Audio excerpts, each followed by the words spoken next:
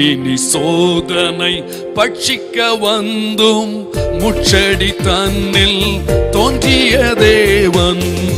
அது ஆத்தாரே அவன் அல்லவர் அவர் கிருபை என்று முழதே அது ஆத்தாரே அவன் அல்லவர் அவர் கிருபை என்று முழதே தேவ கிருபை என்று முழதே அவ கிருபை என்று முழதே அவரை போற்றி துதித்து பாடி அல்லேலூயா என்றார் பறிப்போம் அவரை போற்றி துதித்து பாடி அல்லேலூயா என்றார் பறிப்போம் ஆண்டவர் நல்லவர். நாம் வேத வார்த்தைக்கு நேராக நம்முடைய சிந்தைகளை திருப்ப போகிறோம். தெய்வ பிள்ளைகள் எல்லாரும் சேர்ந்து கத்தரை மகிமைப்படுத்துகிற ஒரு நேரம். பயபக்தியோடு கூட வீடுகளில் இருக்கிறோம் என்ற அலட்சியத்தோட இருக்காதுங்க. நம்ம கத்தரை ஆராதித்து கொண்டிருக்கிறோம். கத்துடைய இன்ப சத்தத்தை நாம் இப்ப கேட்க போகிறோம். அந்த நிச்சயத்தோடு கூட நாம் கத்தரை நோக்கி பார்க்க போகிறோம். தெய்வ வசனத்தை நான் உங்களுக்கு போதிப்பதற்காக கத்தர் எனக்கு தந்த வார்த்தைகளோடு நான் வந்து நிற்கிறேன் கத்த நிச்சயமா இந்த நாளிலும் நமக்கு நல்ல வார்த்தைகளை தருவதற்கு அவர் போதுமானவராய் காணப்படுகிறார். இந்த நாளிலும் கூட தேவனுடைய வார்த்தையை நான் பேசுவதற்காக எடுத்துக்கொள்ளப்பட்ட வேத வசனம் ரோமருக்கு எழுதின நிருபம் ஒன்பதாவது அதிகாரம் அதனுடைய இருபத்தி எட்டாவது வசனம். ரோமருக்கு எழுதின நிருபம் ஒன்பதாம் அதிகாரம் அதனுடைய இருபத்தி எட்டாவது வசனம். அவர் நீதியோடே சீக்கிரமாய் தம்முடைய காரியத்தை நிறைவேற்றுவார். கர்த்தர் பூமியிலே சீக்கிரமாகவே காரியத்தை நிறைவேற்றி முடிப்பார். இரண்டு காரியத்தை திரும்ப திரும்ப சொல்லுகிறது. அவர் சீக்கிரமாய் தம்முடைய காரியத்தை நிறைவேற்றுவார். பூமியிலே சீக்கிரமாகவே காரியத்தை நிறைவேற்றி முடிப்பார் என்று தீர்க்கன் மூலமாய் வேதம் எழுதி வைத்திருக்கிறது. நம்முடைய ஆண்டவருக்கு அநேக பெயர்கள் உண்டுங்க. ஆனா அதுல ஒரு பெயர் தான் நிறைவேற்றி முடிக்கிற கற்ற எனக்கு ரொம்ப பிடித்த ஒரு வார்த்தை. அவர் மறக்கிற தேவன் அல்ல அவர் நிறைவேற்றி முடிக்கிற தேவனாய் காணப்படுகிறார். இந்த நாளிலும் கூட நிறைவேறும். அதாவது அவர் சொன்னது நிறைவேறும். அதே நேரத்தில் நிறைவேற்றுவோம். எதை? அவர் சொன்னதை நிறைவேற்றுவோம். சொன்னது நிறைவேறும் சொன்னதை நிறைவேற்றுவோம் என்பதுதான் தேவன் எனக்கு தந்த ஒரு வார்த்தையாய் காணப்படுகிறது. எனக்கு மிகவும் பிரியமானவர்களே நம்முடைய ஆண்டவர் என்னென்ன நம்மிடத்தில் சொன்னாரோ அவைகளை நிறைவேற்றுவதற்கு அவர் ஆயத்தமாய் இருக்கிறார் அதே நேரத்தில் அவர் சொன்னதை நாம் நிறைவேற்றுவதற்கு ஆயத்தமாய் இருக்க வேண்டும். அதற்கு ஆதாரமாக மத்திய இருபத்தி ஒன்றாம் அதிகாரம் மார்க் பதினொன்றாம் அதிகாரம் லூக்கா பத்தொன்பதாவது அதிகாரம் யோவான் எழுதின சுவிசேஷத்தில் அதனுடைய பதினான்காவது அதிகாரம். இந்த சுவிசேஷங்களில் இருந்து நான் சில திக்க தரிசனமான வார்த்தைகளை நான் உங்களோடு கூட பேசவிருக்கிறேன். பரிசுத்த ஆண்டவர் நமக்கு வேண்டிய வார்த்தைகளை இந்த நாளிலும் நிச்சயமாய் தந்து நம்மை சந்தோஷப்படுத்துவதற்கு அவர் போதுமான கத்தராய் காணப்படுகிறார். கரங்களை உயர்த்தூர் அலையிலுய சொல்லலாமா? கத்தருடைய நாமம் மகிமைப்படுவதாக. எனக்கு மிகவும் பிரியமான கத்துடைய பிள்ளைகளே இந்த வசனங்கள் நம் வாழ்க்கையிலே ஒரு பெரிய மாற்றத்தை இன்று கொண்டு வரும் என்று நான் நிச்சயமாய் அறிந்திருக்கிறேன். கர்த்தர் நிறைவேற்றுகிறவர் மட்டுமல்ல நாம் நிறைவேற்ற வேண்டியதை நிறைவேற்றியே ஆக வேண்டும் என்பதை வலியுறுத்துகிற ஒரு வேத பகுதியில் இருந்து நான் உங்களோடு கூட பேசவிருக்கிறேன். பாருங்கள் இந்த சம்பவத்தை நாம் நன்றாய் அறிந்திருக்கிறோம். எவைகளை ஆண்டவர் நிறைவேற்றினார்? எவைகளை நாம் நிறைவேற்ற வேண்டும்? மூன்று காரியத்தை சொல்ல விரும்புகிறேன். எழுதப்பட்ட தீர்க்க தரிசனம் நிறைவேறும். சொல்லப்பட்ட தேவ வார்த்தை நிறைவேறும். கட்டளையிடப்பட்ட தேவ திட்டத்தை நிறைவேற்ற வேண்டும். இந்த மூன்று காரியத்தை தான் நான் இன்று உங்களோடு கூட பேச விரும்புகிறேன். இந்த சம்பவம் நம்ம எல்லாருக்கும் தெரியும். ஆண்டவர் அறிந்த ஜனங்களுக்கு. ஆண்டவர் இயேசு இந்த உலகத்தில் வாழ்ந்த காலத்தில் தன்னுடைய சீஷர்களில் இரண்டு பேரை அழைத்து உங்களுக்கு எதிரே இருக்கிற அந்த கிராமத்துக்கு போங்க.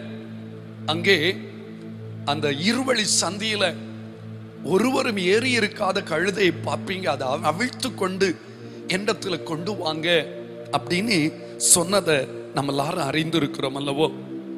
இந்த சம்பவத்தை தான் நான் இன்று உங்களோடு பேச விரும்புகிறேன். முதலாவதாக இந்த சம்பவத்தை குறித்து முற்பிதாக்கள் இல்லாவிட்டால் ஏற்கனவே தீர்க்கதரிசிகள் எவைகளையெல்லாம் எழுதி இருந்தாரோ அவைகள் அப்படியே ஒரு அக்ஷரம் பிறழாதபடிக்கு நிறைவேறினதை நாம் இந்த பகுதிகளில் வாசிக்க முடியும். யோவான் எழுதின சுவிசேஷம் அதனுடைய பனிரெண்டாவது அதிகாரத்தை திருப்பிக் கொள்ளும் பொழுது அந்த யோவான் பனி இரண்டாவது அதிகாரத்தில் பதினான்காவது வசனத்தை பாருங்கள். அல்லாமலும் சீயோன் குமாரத்தியே பயப்படாதே. உன் ராஜா கழுதை குட்டியின் மேல் ஏறி வருகிறார் என்று எழுதி இருக்கிற பிரகாரமாக இயேசு ஒரு கழுதை குட்டியை கண்டு அதன் மேல் ஏறி போனாராம். எழுதி இருக்கிற பிரகாரமாக ஏற்கனவே ஆண்டவராகிய இயேசு கிறிஸ்துவை குறித்து என்னவெல்லாம் எழுதி இருந்ததோ அவைகளெல்லாம் இயேசுவின் வாழ்விலை அப்படியே நிறைவேறிவிட்டது. என்ன எழுதப்பட்டிருந்தது? உன் ராஜா கழுதை குட்டியின் மேலே சாந்தமுள்ளவராய் தாழ்மை உள்ளவராய் ஏறி வருகிறார் என்று பழைய பாட்டில் எழுதப்பட்டிருந்த அந்த தீர்க்க தரிசனமான வார்த்தை ஆண்டவரில் நிறைவேறினது. இன்றைக்கு நான் உங்களை பார்த்து சொல்லுகிற ஒரு திட்டமான வார்த்தை என்ன தெரியுமா? நான் விசுவாசத்தோட சொல்ல விரும்புகிற வார்த்தை என்ன தெரியுமா? நம்மை குறித்தும் தேவன் எழுதி வைத்திருக்கிறார் பாருங்க. அவைகள் எல்லாம் நம்முடைய ஜீவியத்தில் நிச்சயம் நிறைவேறப் போகிறது. இயேசுவை குறித்து தீர்க்க தரிசிகள் எழுதி இருந்த எல்லாம் குறித்த காலத்திலே ஒரு எழுத்து கூட குறையாதபடிக்கு அவருடைய வாழ்வில் நிறைவேறினது உண்மையானா? நம்ம வாழ்க்கையிலும் ஆண்டவர் நிறைய வார்த்தைகள் எழுதி வைத்திருக்கிறார் அல்லவோ? பைபிள் சொல்லுது எழுதி இருக்கிறபடி தேவன் தம்மில் அன்பு கூறுகிறவர்களுக்கு ஆயத்தம் பண்ணினவைகளை கண் காணவும் இல்லை காது கேட்கவும் இல்லை. ஆனால் தேவன் அவைகளை தமது ஆவியினாலே நமக்கு வெளிப்படுத்தினார் என்று எழுதப்பட்டிருக்கிறது. ஆம் எழுதியிருக்கிறபடி. இன்னும் வசனம் சொல்லுகிறது எழுதியிருக்கிறபடி என்று ரோமருக்கு எழுதின நிருபம் எட்டாம் அதிகாரம் இருபத்தி எட்டாவது வசனத்தை பார்ப்பீர்கள் ஏன்னா அன்றியும் அவருடைய தீர்மானத்தின்படி அழைக்கப்பட்டவர்களாய் தேவனிடத்தில் அன்பு கூறுகிறவர்களுக்கு சகலமும் நன்மைக்கு எதுவாய் நடக்கிறது. வேதாகமத்திலே முற்பிதாக்கள் இயேசுவை குறித்து எழுதினது போல பழைய பாட்டில் ஆண்டவர் எழுதி வைத்திருந்தா இயேசு கழுதை குட்டியின் மேல் பவனி செல்வான். அது அப்படியே நிறைவேறிச்சல்ல. நான் விசுவாசத்தோட தீர்க்க தரிசனமா சொல்றேன். உங்களை குறித்தும் கத்தர் எழுதின வார்த்தைகள் நிச்சயம் நிறைவேற போகிறது. சந்தேகப்படாதுங்க.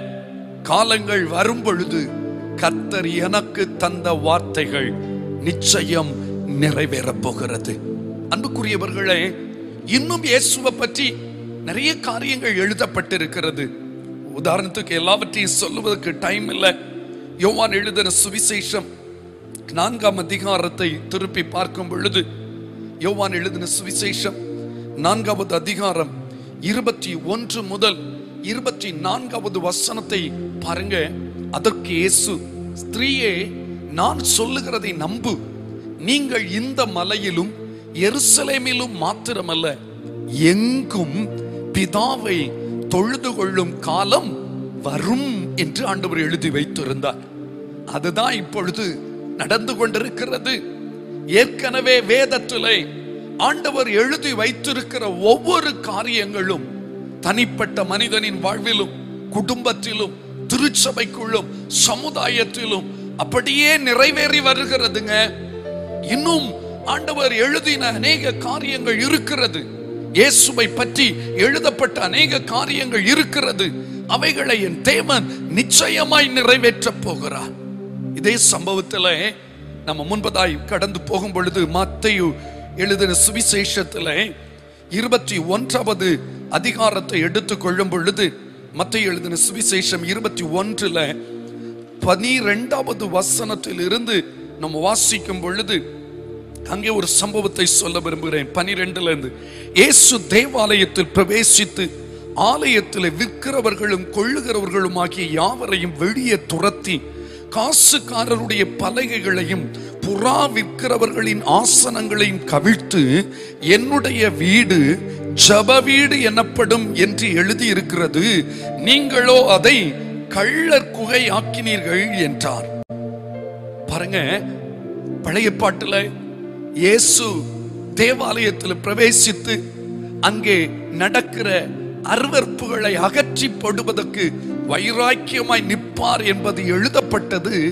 அது அப்படியே எத்தனையோ நூற்றாண்டுகளுக்கு முன்பதாய் எழுதப்பட்ட வார்த்தைகள் அப்படியே இயேசுவிலை நிறைவேறினதுங்க.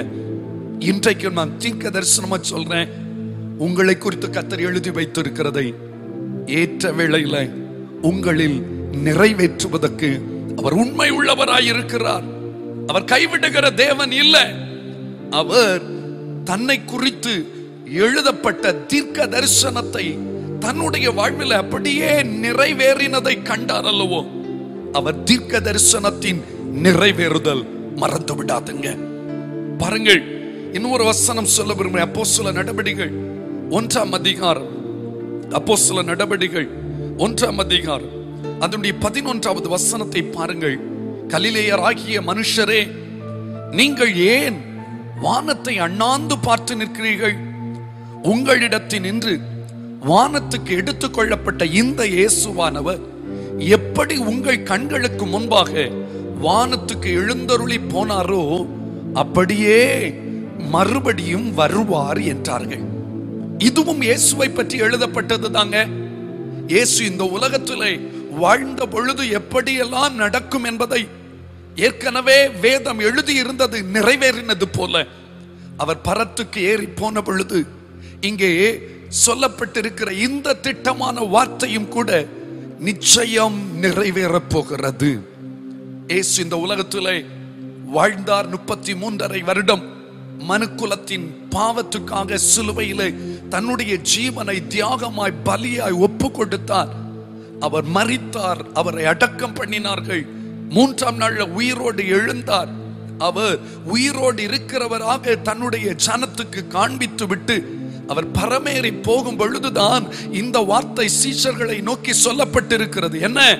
உங்களிடத்தில் நின்று வானத்துக்கு எடுத்துக்கொள்ளப்பட்ட இந்த இயேசுவானவர் எப்படி உங்கள் கண்களுக்கு முன்பாக வானத்துக்கு எழுந்தருளி போனாரோ அப்படியே மறுபடியும் வருவார் என்றார்கள். இயேசுவை பற்றி எழுதப்பட்டிருக்கிற இந்த வார்த்தையும் கூட நிறைவேறத்தான் போகிறது. அது நிறைவேறும் என்பதற்கு அடையாளம் தான் இப்பொழுது உலகம் முழுவதும் கலங்கி நிற்கக்கூடிய இந்த கொள்ளை நோயின் காரியங்கள். இன்னும் பல காரியங்கள் ஒருவேளை தேசத்தை சூழ்ந்து வரலாம். என்னென்றால் இயேசு சீக்கிரம் வரப்போகிறார். அவர் சொன்ன வார்த்தைகள் தவறி போவதில்லை அது நிறைவேறப் போகிறது என்பதற்கு ஒரு அடையாளத்தை தான் இப்பொழுது உலகம் கண்டு கொண்டிருக்கிறது.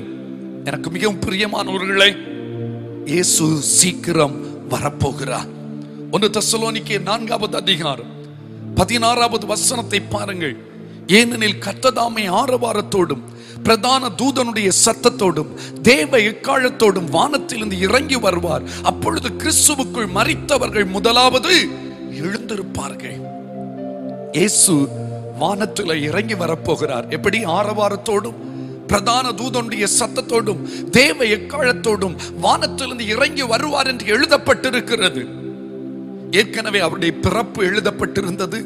அவர் வளருகிற விதம் எழுதப்பட்டிருந்தது. அவருடைய ஊழிய காரியங்கள் எழுதப்பட்டிருந்தது. அவருடைய மரணம் எழுதப்பட்டிருந்தது. அவர் பட்ட பாடுகள் எழுதப்பட்டிருந்தது. ஆமேன். அவருடைய உயிர்த்தெழுதல் எழுதப்பட்டிருந்தது. அதே போல அவர் மீண்டும் வரப்போகிறதும் எழுதப்பட்டிருக்கிறது.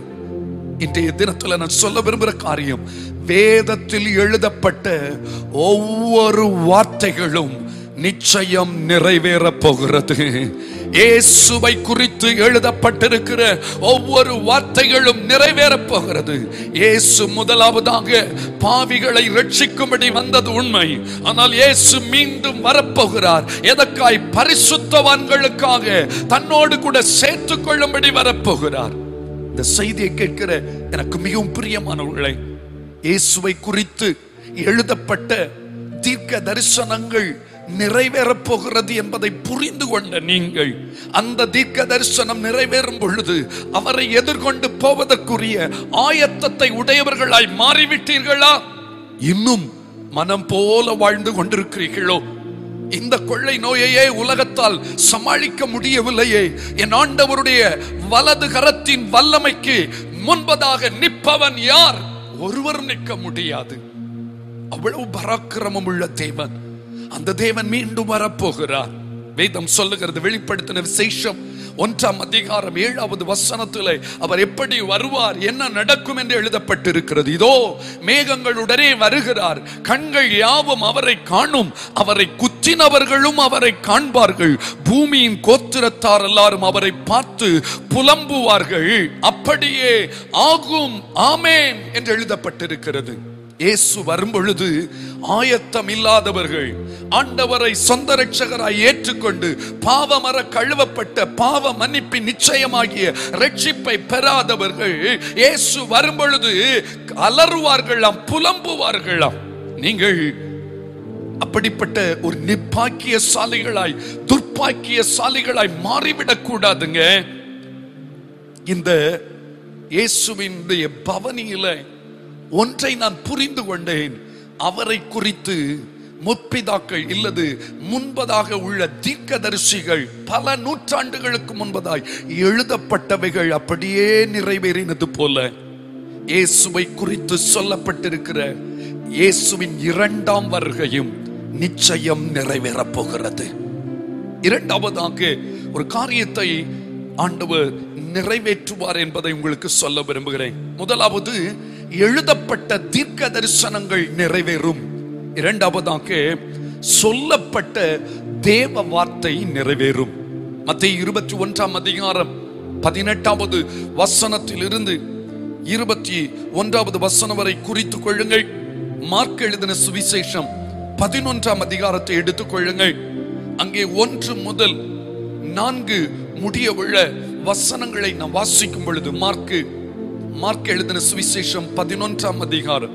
ஒன்று முதல் பாருங்கள். அவர்கள் எருசலேமுக்கு சமீபமாய் சேர்ந்து ஒலிவ மலைக்கு அருகான பெத்பகே பெத்தானியா என்னும் ஊர்களுக்கு வந்தபோது அவர் தம்முடைய சீஷர்களை ரெண்டு பேரை நோக்கி உங்களுக்கு எதிரே இருக்கிற கிராமத்துக்கு போங்கள். அதிலே பிரவேசித்தவுடன் மனுஷர் ஒருவரும் ஒரு காலம் ஏறியிராது ஒரு கழுதை குட்டி கட்டியிருக்க காண்பீர்கள். அதை அவிழ்த்து கொண்டு வாருங்கள் என்றான்.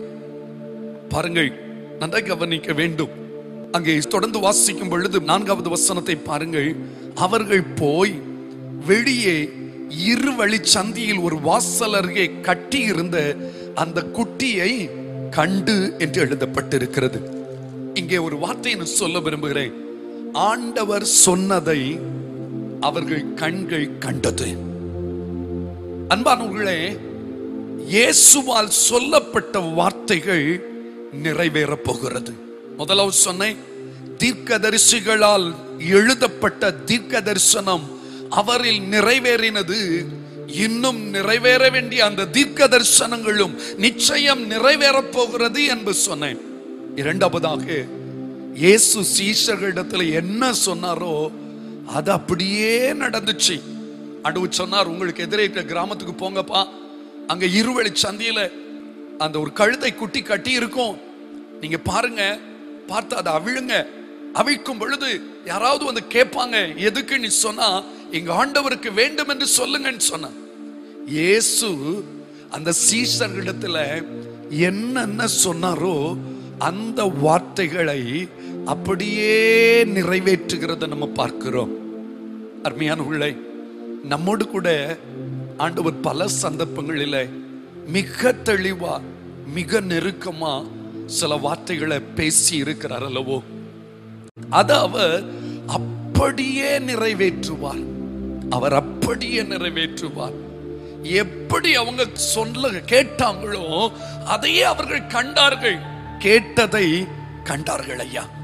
உங்கள்கிட்ட ஆண்டவர் என்னென்ன சொன்னாரோ அவைகள் எல்லாவற்றையும் உங்கள் கண்கள் காணப் போகிறது அதே மார்க் எழுதின சுவிசேஷம் பதினொன்றாம் அதிகாரத்தில் பனிரெண்டாவது வசனத்தில் இருந்து நான் உங்களுக்கு சில வார்த்தைகளை சொல்ல விரும்புகிறேன். பனிரெண்டு மறுநாளிலே அவர்கள் பெத்தானியாவில் இருந்து புறப்பட்டு வருகையில் அவருக்கு பசி உண்டாயிற்று.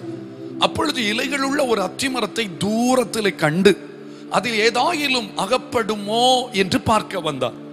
அத்திப்பழ காலமாய் இராதபடியால் அவர் அதனிடத்தில் வந்தபோது அதில் இலைகளை அல்லாமல் வேறு ஒன்றையும் காணவில்லை.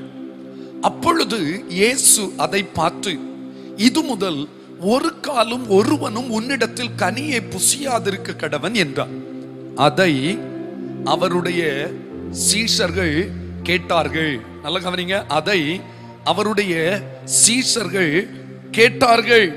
தொடர்ந்து இருபதாவது வசனத்தை பாருங்க. மறுநாள் காலையிலே அவர்கள் அவ்வழியாய் போகும்போது அந்த அத்திமரம் வேரோடு பட்டு போய் இருப்பதை என்ன செய்தார்கள்? கண்டார்கள். பதினான்காவது வசனத்திலே கேட்டார்கள் என்று எழுதப்பட்டிருக்கிறது. இருபதாவது வசனத்திலே கண்டார்கள் என்று எழுதப்பட்டிருக்கிறது.